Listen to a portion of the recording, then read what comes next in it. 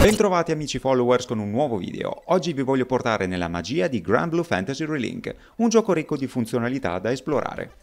Nonostante il tutorial fornito per comprendere le basi e le meccaniche del gioco, ci sono ancora aspetti fondamentali che Grand Blue Fantasy Relink non insegna ai giocatori, specialmente su come progredire in maniera efficiente. Sia che voi siate nuovi alla serie o siete dei giocatori esperti, lasciate che vi illustri alcune tips per migliorare la vostra esperienza di gioco. Il primo consiglio è di completare la storia principale, prima di tutto. Quando mettete piede per la prima volta in Zega Grand Skydome e raggiungete la prima città nel capitolo 1, sarete accolti da PNG che vi offriranno missioni secondarie e il bancone delle missioni sarà accessibile, offrendovi ulteriori incarichi. In questo momento potreste essere tentati di accettare e completare tutte le missioni secondarie per ottenere il massimo di materiali o valuta prima di procedere. Sembrerà strano dirlo, ma l'approccio migliore consiste nel concentrarsi prima sulla trama principale per sbloccare nuove funzionalità. Molte opzioni infatti saranno disponibili solo dopo aver completato la campagna principale e vi sorprenderete quanto tempo risparmierete seguendo questa strada. Le missioni post-game-endgame offrono ricompense più consistenti in valuta, sigilli più potenti e altro ancora. Anche se potreste avvertire la tentazione di iniziare a livellare immediatamente, cosa che normalmente è la prassi in qualsiasi JRPG, sappiate che questo vi porterà a ottenere ricompense minori e sigilli più deboli in cambio del vostro tempo prezioso. A questo punto potreste chiedervi come sia possibile progredire nella storia principale senza livellare o completare missioni secondarie, la risposta è che la storia principale può essere affrontata senza troppi problemi. Godetevi la trama che è relativamente breve, imparate le meccaniche di gioco e in breve tempo raggiungerete l'endgame, dove inizia la vera sfida di grinding. Il secondo consiglio che vi do è quello di formare un gruppo bilanciato.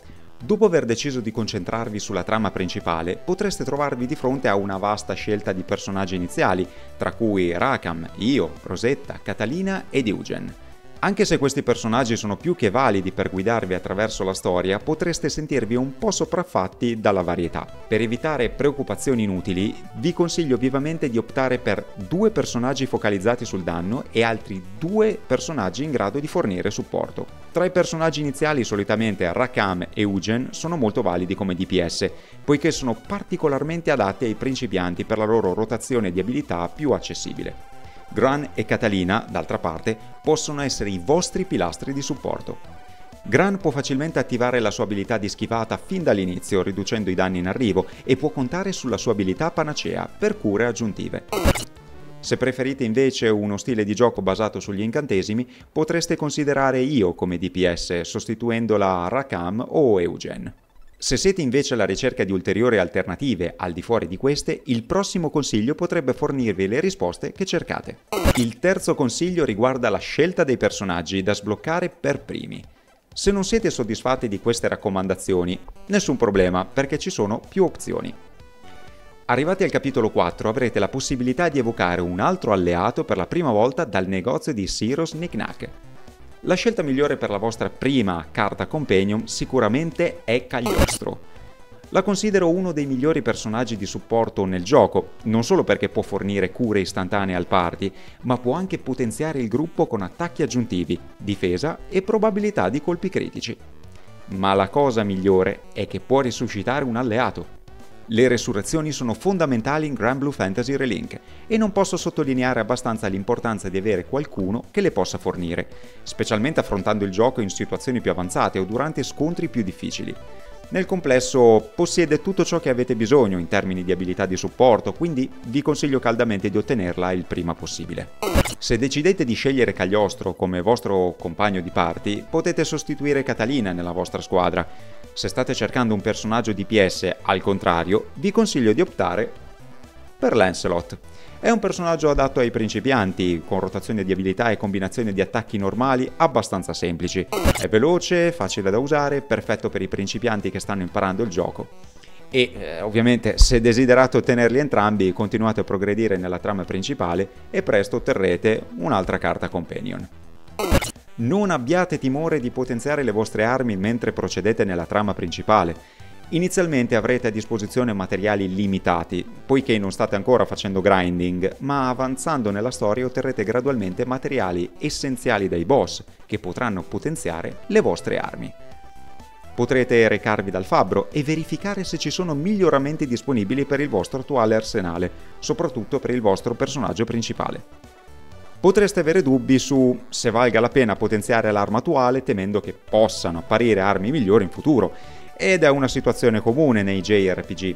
La buona notizia è che dovrete inevitabilmente massimizzare ogni arma, poiché ogni personaggio ha un albero specifico o una sezione nelle loro maestrie chiamata collezione. Nella scheda delle collezioni potreste visualizzare tutte le armi forgiate per un personaggio specifico.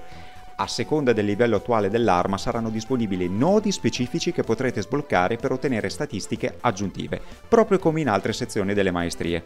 Pertanto non esitate a massimizzare la vostra arma attuale e sbloccare il limite nel processo, soprattutto per i vostri personaggi principali. Potenziando la vostra arma attuale progredirete più rapidamente nel gioco, infliggendo più danni e sbloccando simultaneamente nodi dell'arma. In poche parole otterrete due benefici con una sola azione. Ora che avete selezionato i vostri primi compagni di squadra, è fortemente consigliato concentrare le risorse su di loro, durante l'avanzamento della trama principale. Questa scelta vi garantirà una base solida al raggiungimento dell'endgame, avendo dedicato l'attenzione a una squadra bilanciata. Potrebbe essere normale rimanere distratti da una vasta gamma di personaggi che potrete reclutare, dato che otterrete più carte companion procedendo nella storia principale.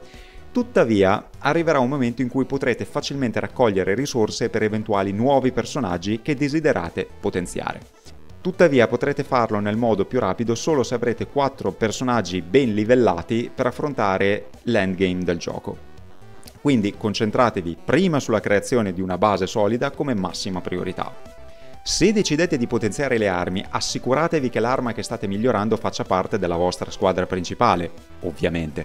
Un'altra risorsa chiave sono i punti di maestria, una valuta rara soprattutto nelle prime fasi del gioco, che otterrete solo completando gli obiettivi della trama principale o salendo di livello. La sfida qui è che se utilizzi i punti di maestria per un personaggio specifico, non potrai recuperarli e dovrai farmarli nuovamente per aumentare la maestria di un secondo personaggio.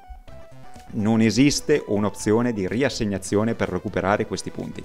I punti di maestria saranno una delle risorse più importanti da raccogliere durante il gioco avanzato ma per ora assicuratevi di investire i vostri punti di maestria nel vostro gruppo principale, soprattutto perché avranno bisogno di più abilità per affrontare al meglio il combattimento. Il sesto consiglio ragazzi è di non preoccuparvi dei sigilli all'inizio. Quando giocate nella trama principale è facile farsi distrarre dai sigilli presenti. Sì, forniscono buoni bonus statistici al vostro party, Tuttavia, nelle fasi iniziali del gioco non è consigliabile concentrarsi solo sulla ricerca di più tipi di sigilli e aggiornarli. Come già menzionato, i vostri materiali saranno limitati all'inizio. Inoltre, un motivo principale per cui non è consigliabile cercare sigilli all'inizio è che quelli disponibili durante le prime fasi del gioco sono di livello inferiore, ovvero otterrete sigilli di livello 1-3.